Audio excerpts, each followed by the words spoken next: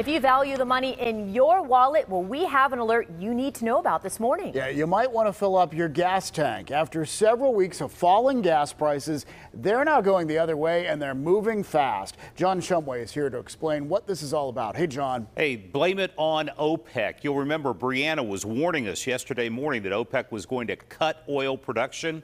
Well, they did by 2 million barrels a day. The reason is simple.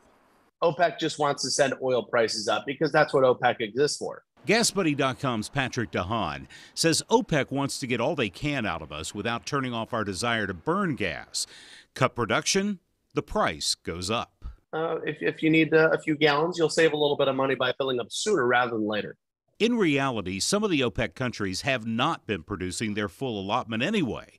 So the real cut won't be 2 million barrels a day.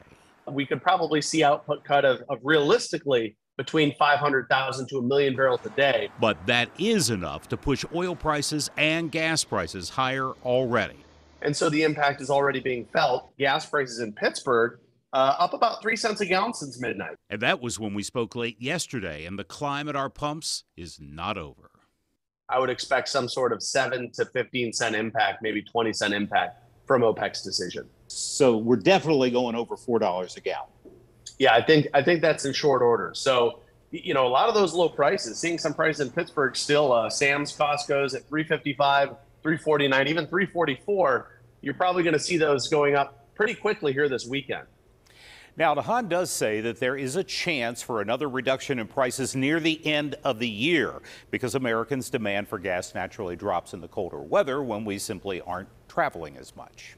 Yeah, uh, he answered so quickly when you asked, is it going to go over $4 yeah. a gallon? Yes, so he, he, says basically fill up now. I mean, do what you can, right? Yeah, he told me if you have a half tank or less, it's probably a good idea to go ahead and top off.